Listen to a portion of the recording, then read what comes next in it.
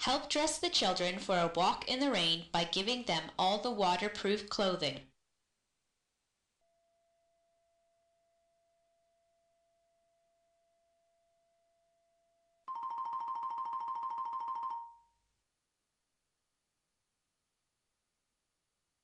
Help keep the children dry by giving them umbrellas.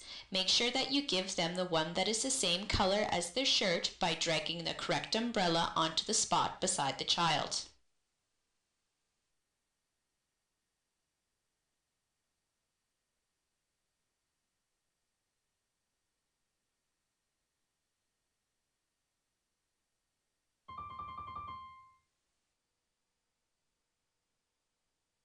What types of shelters protect people from the rain? Look at the pictures of each place.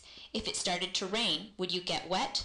Drag the raindrop with a check mark into the center if you would, and the raindrop with an X on it into the center if you would not. Would you get wet in your house?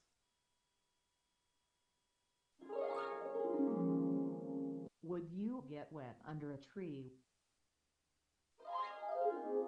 Would you get wet in your car? Would you get wet in the park? Would you get wet on your bike? Would you get wet in a tent?